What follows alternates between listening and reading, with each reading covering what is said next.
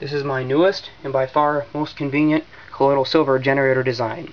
It's got five current limited voltage ranges and five constant current ranges. The voltage ranges start at 10 volts and jump up in 10 volt steps up to a maximum of 50 volts open circuit.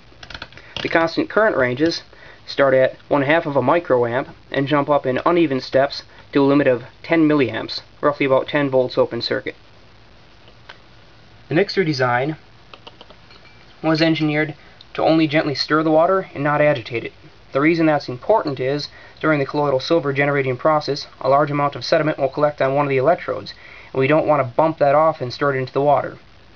This allows us to lift the system out of the water, clean the electrodes off, and place them back in without ever bumping that sediment off the electrodes.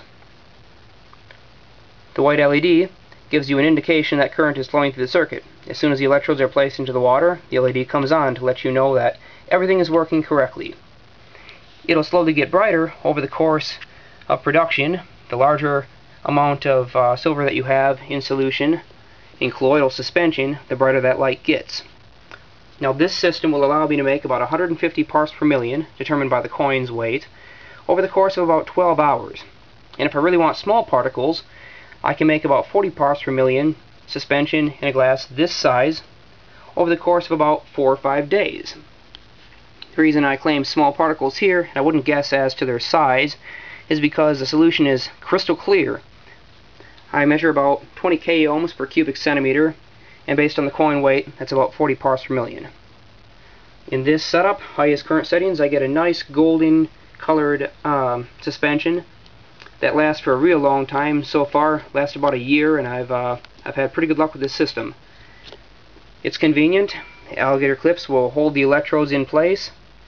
You can use coins wires and just about anything else.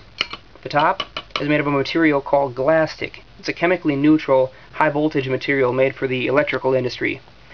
And the mix rod is made out of another chemically neutral non-carcinogenic material that won't release you know horrible things into your water the supply itself plugs right into the wall. It's kind of an unholy combination of a wall adapter and a project box. Inside of it is a cascade multiplier. I just have the rotary switch on the highest current or the highest voltage ranges attached to each stage of the cascade.